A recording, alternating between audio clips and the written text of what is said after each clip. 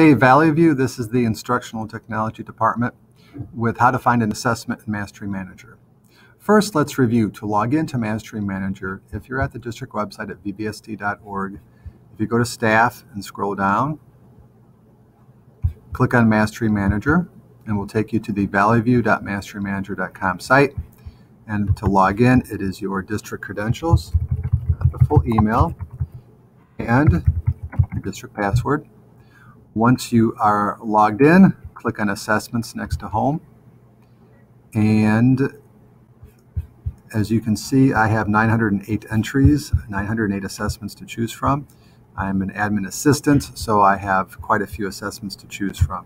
You would probably at your building have a lot fewer, but if you need to narrow your search, click right here. It says Show Assessment Finder. And here from keyword to even created by, you can look for a particular user who created the account or the assessment.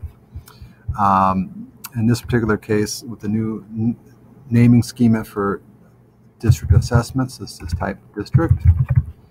And by doing so, the assessment finder has filtered the results. And now I'm down to 320. So using the assessment finder, it is a uh, valuable feature as a part of Mastery Manager that can help you narrow your search to find the assessments you are looking for. And with that, it's the Instructional Technology Department here, and I hope you have a, uh, a good day, Valley View.